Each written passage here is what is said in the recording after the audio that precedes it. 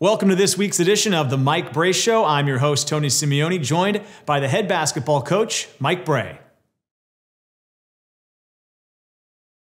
Coach, this week you went one and one. You had a great win at home, 34 points. Then you lose a tough one down there on the road at Tallahassee. As a coach, just what's your takeaway from a week like this? Well, I love our team, and I love the position that we've earned to date. Um, no question, we played great and together, and it was a fun atmosphere against Georgia Tech. And then we ran into a bit of a buzzsaw in Tallahassee. We've not had much luck in Tallahassee. They really shot it well. We fought, gave ourselves a chance.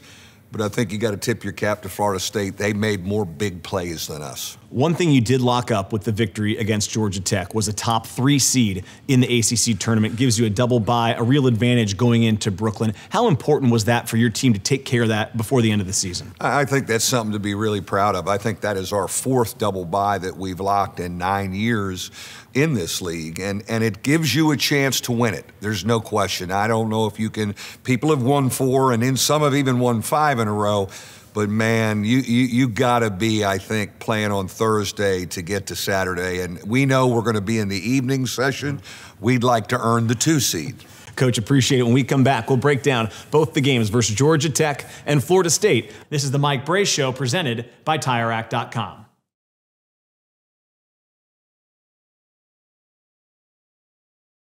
It's now time for this week's game breakdown as we go inside both of Notre Dame's games from this week. Coach, let's start with Georgia Tech. Um, obviously, a great win, 34 points, but let's start before the game. Coming into this one, you actually knew it was the last game with your student section in the crowd. How important was it to get out to a good start in this game for you guys? Well, I wanted us to deliver for our student section because they have been fabulous. Then they go on spring break. We know we're going to lose them for the Pittsburgh game, but we got out of the gate early, and we got out of the gate early, keeping it to one and done and running. Mm-hmm. You know, one of the things I think that helps us is getting down the floor fast. We're such a good passing team, and we were able to do that early. One of the guys that took advantage of that transition was Dane Goodwin. Has been in single figures a few more times recently, but 17 points. They all came in the first half.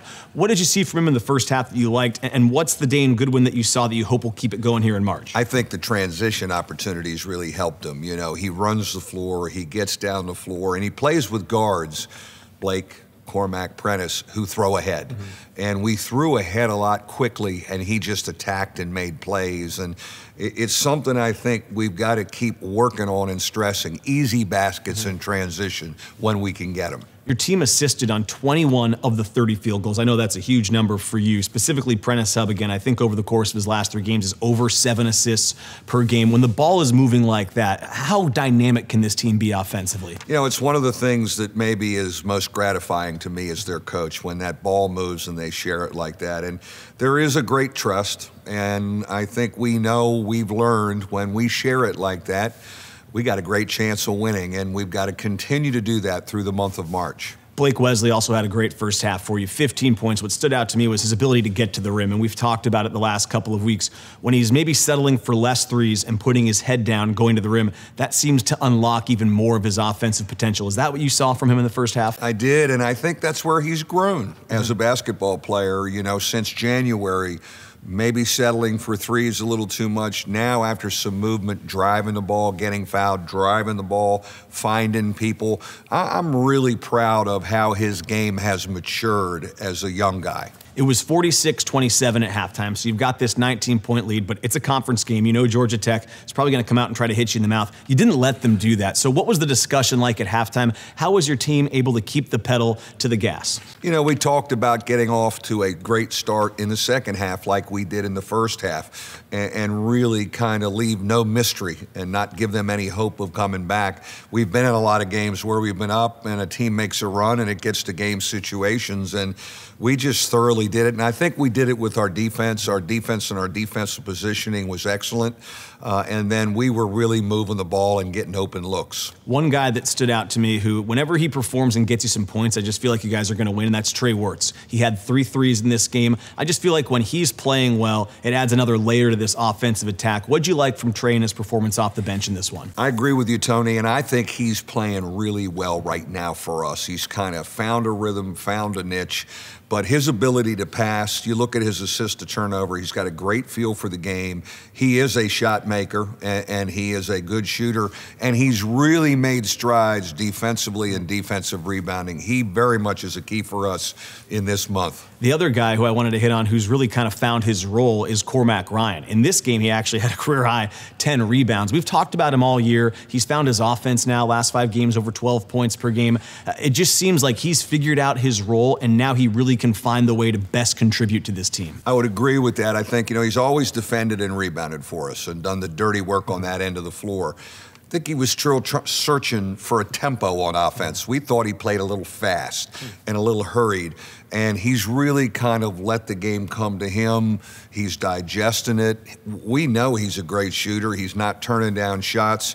Starting in the midst of the Laszewski injury probably helped calm him down a little bit. But right now, you know, we need him to continue to play the way he's playing. Something that was really fun to watch, I thought, in this game was the fact that you got some guys on the floor that haven't seen a lot of big minutes this year. Let's start first with J.R. Konieczny. He's a freshman that I think a lot of people are excited about because he's from the area. Hasn't seen a lot of crunch time minutes, but he got on the floor, had a dunk. What excites you about J.R.'s future? I, I'm it's Tim Abromaitis all over again. This long term plan of getting older. He's gained 18 pounds since he's been here, and he can eat, get more. So the strength is coming. But what our people saw, they haven't got to see him much. You know, he has got great lift and bounce around the basket. He's a fearless competitor. He is going to be a key guy for us right away next season. He just needs that year to get older and stronger, and he's doing it. You know, Zona and Tony Sanders Jr. got on the floor as well. I talked to Matt Zona earlier this year. He really embraced his role as doing whatever he had to do. He's played some big minutes actually here and there coming off the bench to get those guys some run. Uh, what did it mean to you as a head coach? Yeah, and again, for Matt and Tony, this is year two where they have not been a big part of it yet their attitudes and their work ethic when they come in and they're in blue shirts and going after the white shirts has really been a key. Uh, I, have told them many times how proud I am. That's their role. Mm-hmm. Um, now, they want a role that's going to be bigger next year, and those are all things we got to talk about. But the attitude of that group that plays against the top seven every day has been fabulous. Let me ask you about one more guy. I left him out intentionally because Elijah Morgan had six points, two assists, two rebounds. When I see him in practice, I love watching him play. He has such a great energy. To see him get that opportunity on the floor, I know he played some minutes for you last year as well. He's a guy that I think just really deserved that moment there on the home floor. Well, Elijah Morgan is a Division One guard. Mm-hmm. You know, we didn't even know he was coming, and we saw him in an open tryout, and he was recruited by mid majors. He is a really good player, and he and Prentiss Hubb have banged heads for a number of years. I, I, he just adds so much to practice, but also to our fabric of our team. Talking to Hubb, talking to Cormac Ryan, telling Trey Wertz to keep his head up. He's really become kind of a leader for us and a very, very important part of our team. 90 to 56 was the final. In fact, that's the biggest margin of victory you guys have had since joining the ACC when playing a conference opponent. So to win a game like that, what did that say about the mental makeup of this team? Yeah, I, I think you know we had it going on both ends, and and uh, and and I also know we wanted to deliver for our fans. I, I've mentioned our students, and they've been great. But our season ticket holders have been awesome too. We had a sellout. I think we've been really fun to watch. We give, we've given them some exciting nights in the building, and we've got one more. Coach, appreciate it. We'll step aside and come back with more on this week's edition on the Mike Brey Show, presented by TireRack.com. It's time to continue our game breakdown as we look at the Florida State game from this week. Coach, going down to Tallahassee, it's a place you hadn't won yet. You knew it was going to be a difficult game because they have a ton of talent, a lot of length on that Florida State roster. Even though they weren't playing well, it seemed like you knew this was going to be a tough game going in. Yeah, that's been a tough place for us. And I tried to challenge our guys, you know, forget about standings or double bye or bracketology. How about we try and get a win in Tallahassee? We haven't done it, and certainly the seniors haven't done it. And we ran into a little bit of a buzzsaw. You know, they came out and shot the heck out of the ball. I don't know if we fully expected them to make shots like that. But yet we hung in and battled. But as you said, Tony, I think at the end of the day, their length and our inability at key times to get the first miss kind of cost us. They were also dangerous because they're kind of playing with nothing to lose now as the yeah. season's gotten away from them. They came out and hit those first five threes. They were five for their first five from three. I think in the first media timeout, they already had maybe 17 points four minutes into the game. So when that's going on, what do you tell your team to try to keep them focused on the task at hand? You know, I, I love our poise of this group. There were two things in the game that stuck out to me as far as, you know, me trusting them. Mm-hmm um, we get the ball with 18 seconds in the first half, and the ref says, you, you want to use your timeout. Set something, you know. No, we're going to just go play, and Trey makes a great pass to Nate for a three. And then we go down five in the second half, and the place is going off, and the same ref runs by me and says, you, you, you want a timeout? I said, no, no, we'll figure this out. And we come right back. And I, a lot of trust with this group because they are poised, and they are pretty mentally tough and pretty battle tested. And we hung in there and kept swinging in a tough atmosphere. Florida State, to their credit, made a few more plays. Let me follow up on then that note you made about Trey Wertz. He was one of the guys I was going to ask you about. We talked about his great performance against Georgia Tech. Maybe the, the stats weren't there, but I thought he gave you an amazing three minutes at the end of the first half. He hit a three, created some great looks for Nate Laszewski and your team. Uh, it just seems like he's coming on here. Trey Wertz is playing really well for us. And, you know, you want to start your seniors on senior day. I wish I could start six guys, you know, because he should be in there too. Um, but his he's always had a great feel for the game. Look at his assist to turnover. He is a shot maker when it's a good shot. Where I think he's really grown is defensively and being physical in the paint and getting some defensive rebounds, and we need him this month. One of the guys he set up, I just mentioned, Nate Laszewski, had three threes in the first half. He was in the starting lineup earlier this year, and he seems to have really accepted this role coming off the bench since Cormac's been inserted to the starting lineup. What does that say about his mental makeup that he hasn't sulked? He's just come out and he's really delivered from you in big ways off the bench. You know, I, I utmost respect for Nate. He's always been a team guy. And I think he was smart enough and looked and said, and, and it's not anything I even sat down and talked to him about when he got healthy and was back. He's watching us and going, all right, Cormac, his roommate, is playing really well. We're in a good rhythm.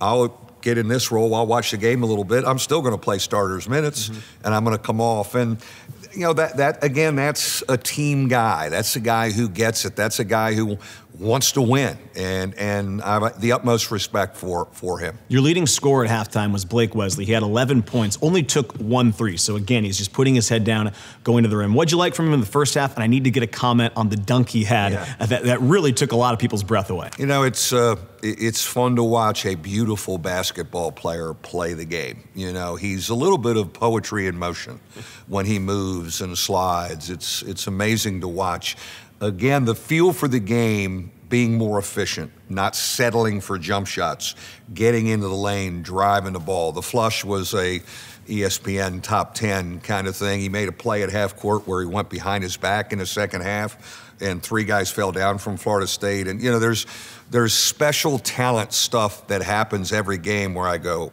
whoa. Um, but he's been a great teammate, mm-hmm. and he has great teammates that have helped him grow. So at halftime, the score was 44 39. I thought you guys closed out the half really well. Again, a building you haven't won in. This team, you know, knew that Florida State was probably going to come out, especially the way they came out in the first half. You figure another run is coming. So, what was the message in the locker room to try to get ready for that? After taking that punch early with them making threes to be up and finish, I'm thinking we're in great shape, fellas, but we're going to have to score 80 tonight. Mm-hmm. We're going to have to score tonight. We had 43 I believe, on the board.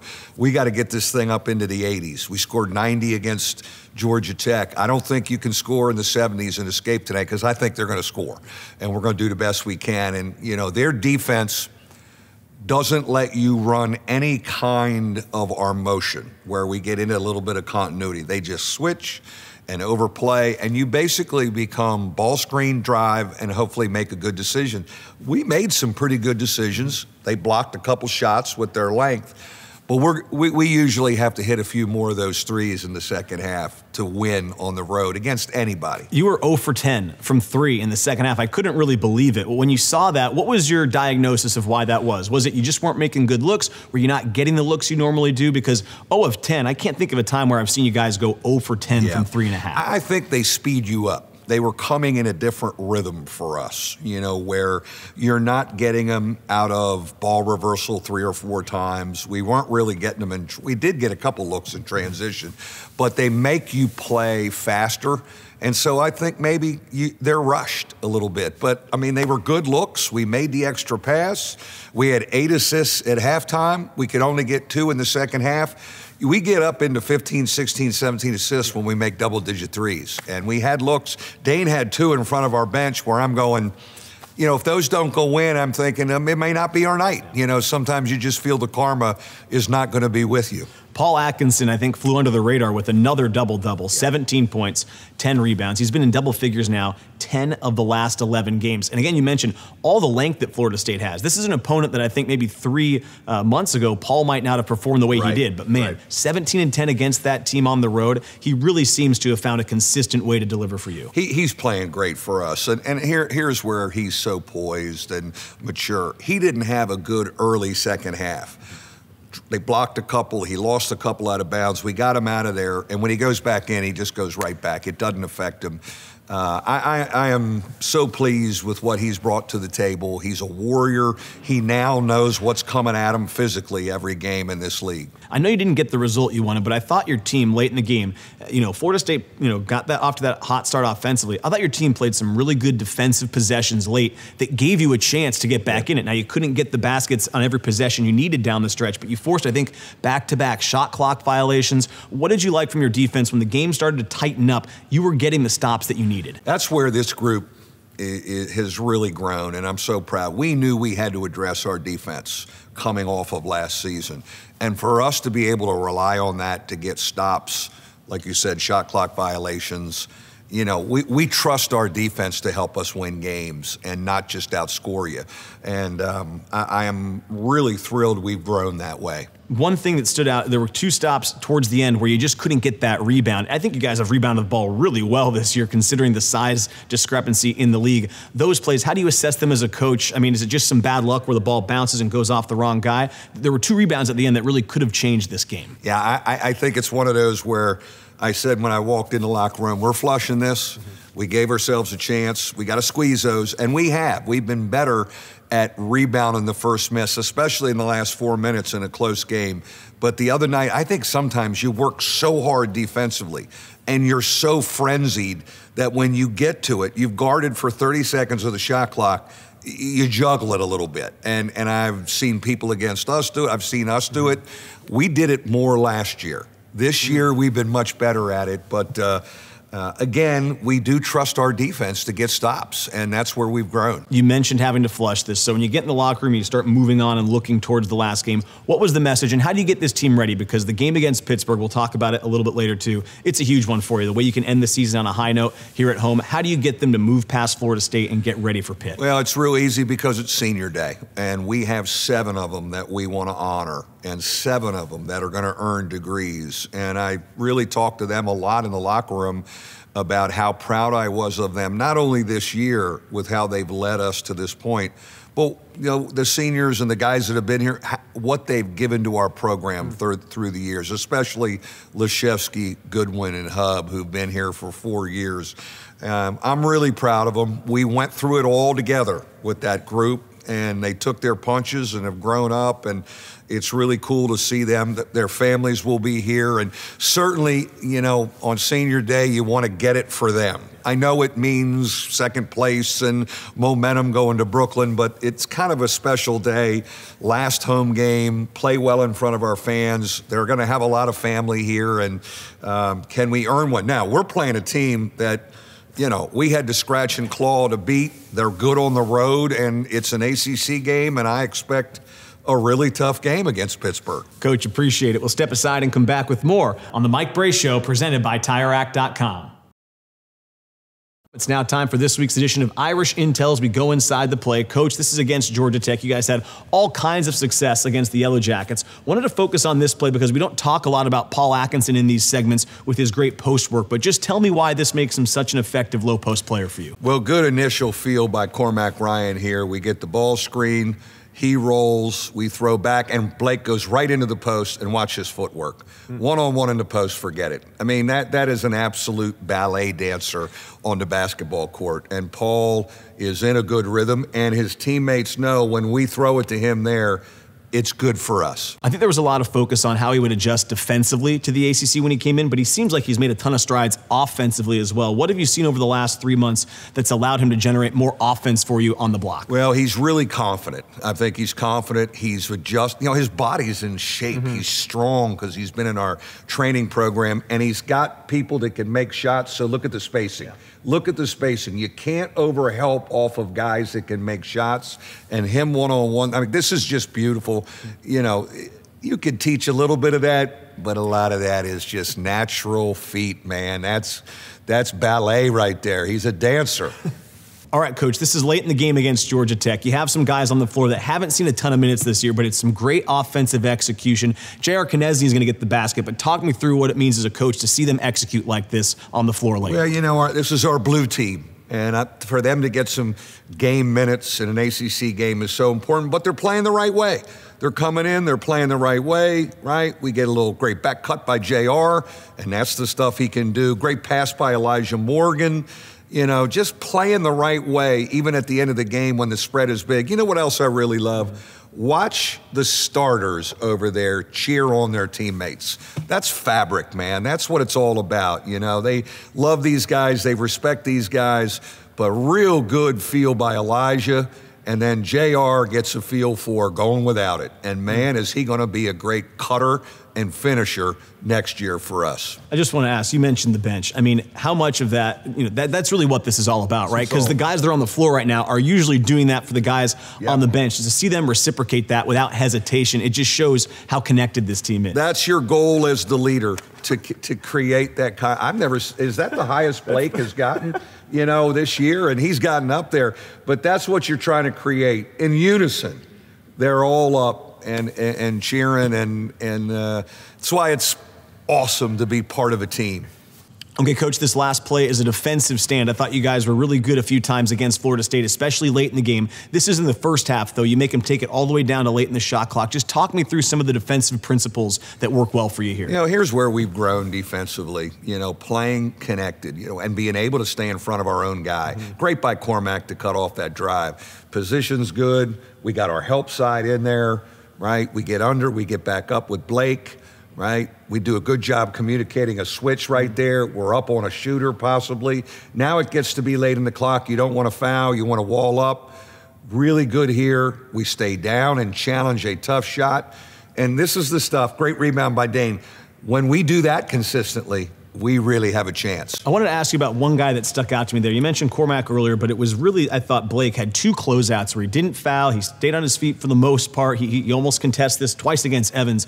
I just think Blake has really improved yeah. as a defensive player. I know he can jump the passing lane and get out and start transition, but both on ball and off ball in the half court, I feel like he's gotten really good here in the second half of the year. And I think, I think when we talk about his game being more efficient offensively, it's been more efficient here. You know, he's learned to not gamble. Mm-hmm to be in good position, to use his length to help. And again, I think he's got older teammates that really help him and talk to him. This this is just great D. Yeah. That's a tough shot. We talk about we want teams to take tough 2s mm-hmm. Tough twos. Chase them off the arc.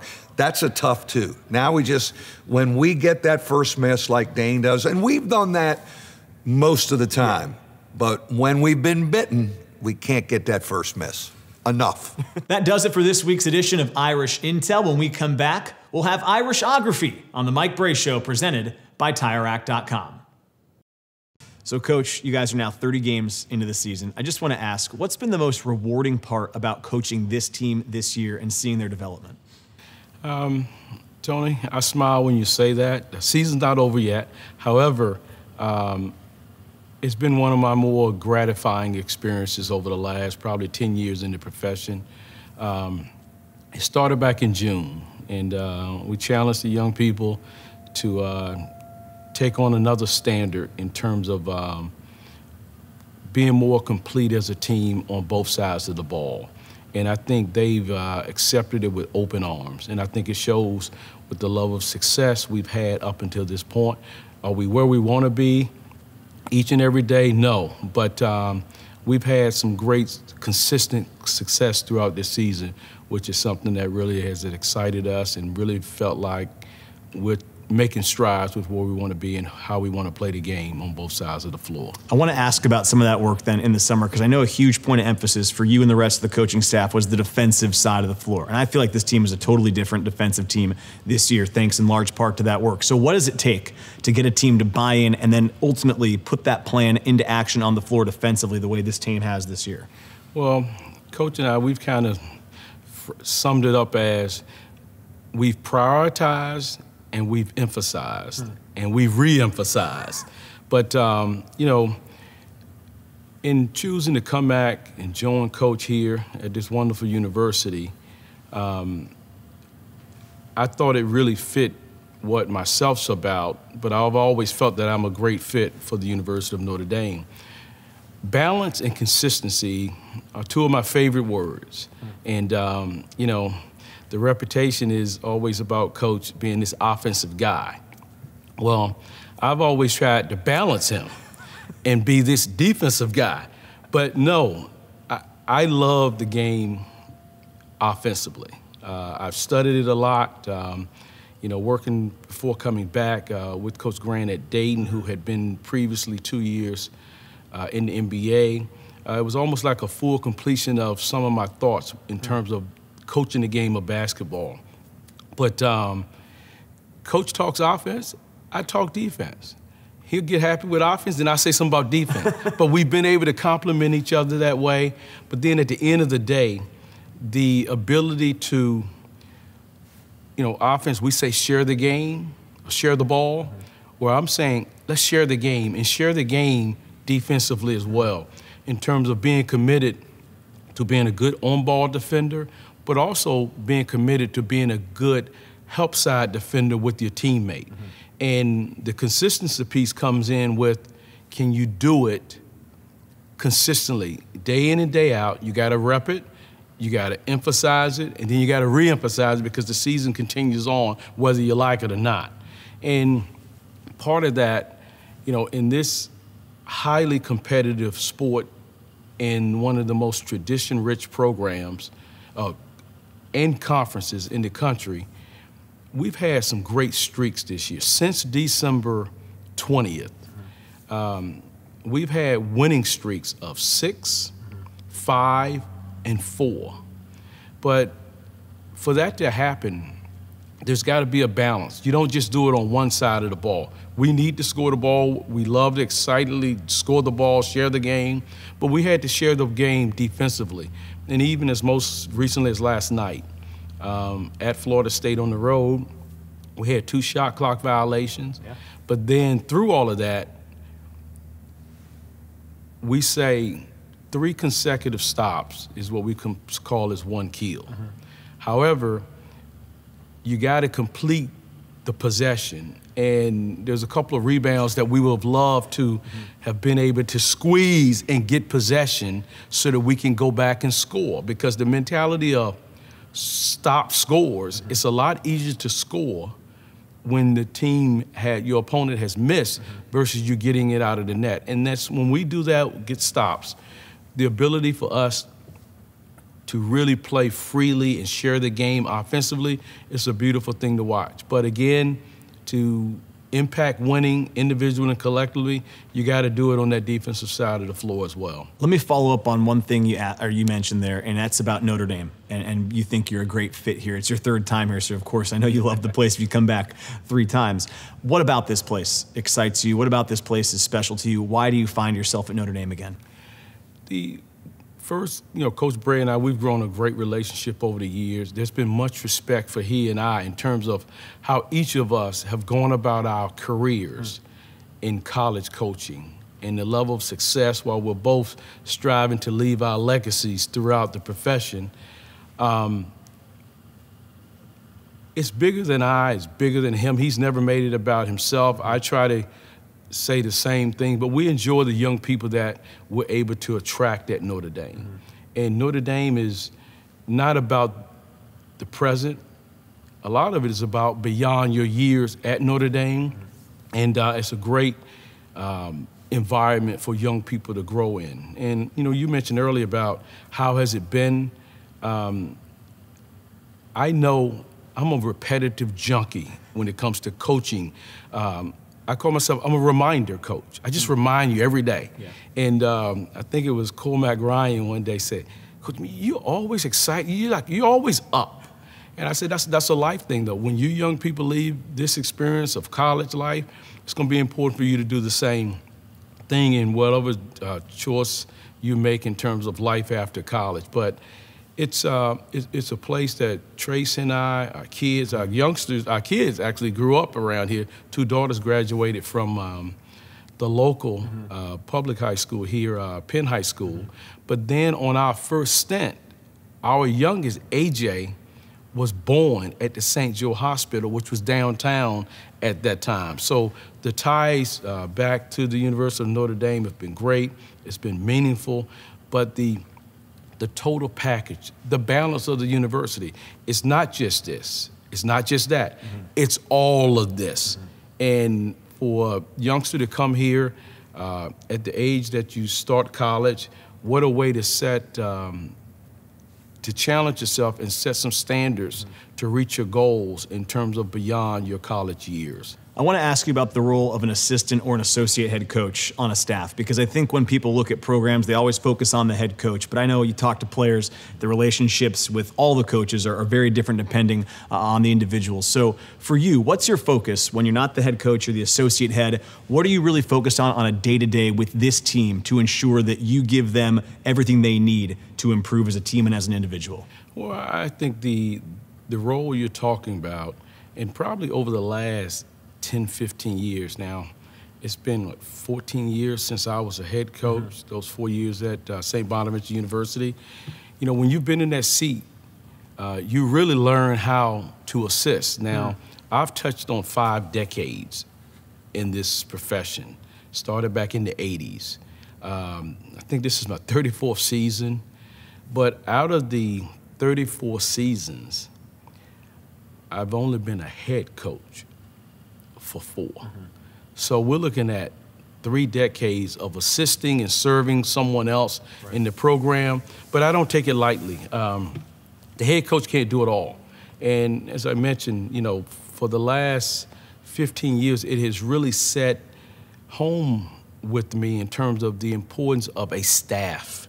It, it, it really starts there mm-hmm. because back to the reminder piece, you know, you go in the office, you have agreements, you have disagreements, but the ability to walk out of that door as a staff and to go present what the game plan is, how to accomplish the different missions that take place within a program, within a game, within a season, I think I really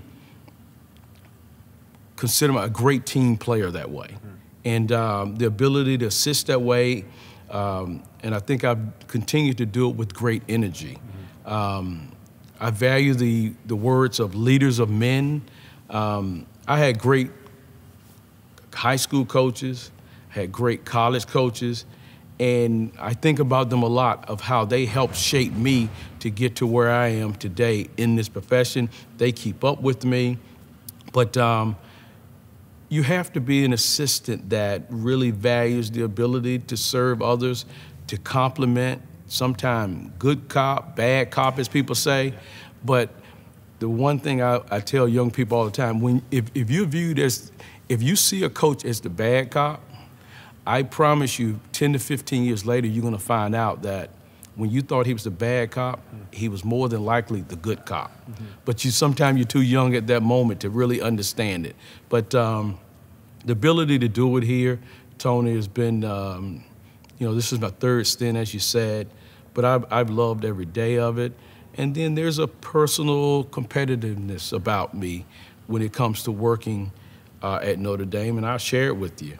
Um, you know, people say football school, and I do. I love college football. I love the environment. I love it here. I can't wait for the team to run out of the tunnel still to this day. But just because they say it's a football school is no reason why we can't be exceptional and excellent between the lines in terms of basketball and the other sport. I think it all comes together that way. There's a spirit about it that I think is exceptional.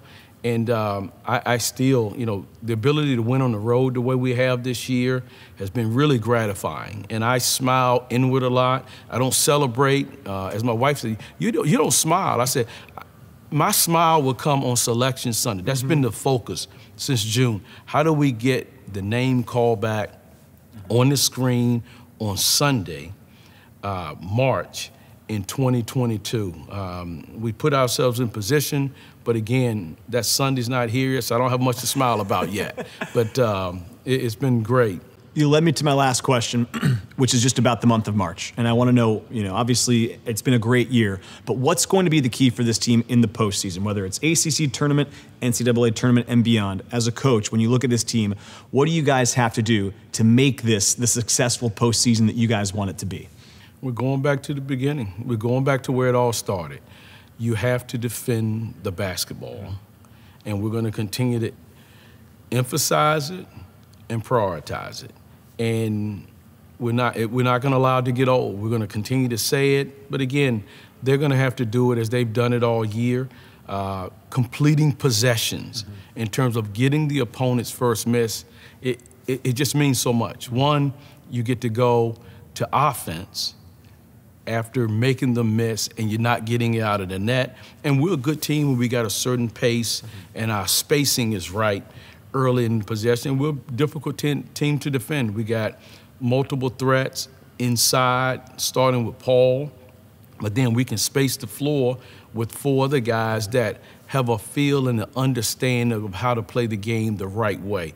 We share that ball, and it's beautiful.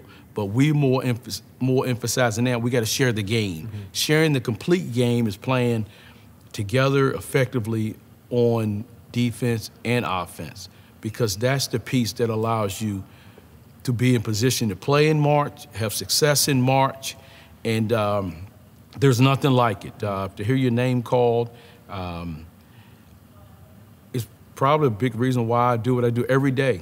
Uh, it's always in my mind to play in March.